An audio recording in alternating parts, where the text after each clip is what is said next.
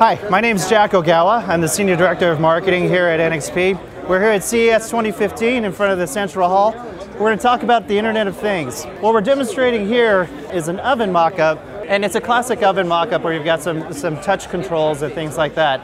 So the question is, well, what's that got to do with the Internet of Things? Well, if we take a step back and think about context, most folks think about Internet of Things and they immediately jump to Wi-Fi. One of the things we're showing here is an actual complementary technology called near field communications. You may be familiar with that through uh, some of the media that's gone on through payments and so forth. The technology actually is applicable to many other things.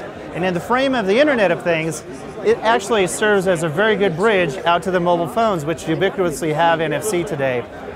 What we're showing here in the booth is the ability to actually have a smart oven access the cloud through a mobile phone using NFC. And what we're actually demonstrating here with the oven specifically is the ability to actually set up the oven, set up cook profiles without actually having to, to touch a whole series of buttons on the oven.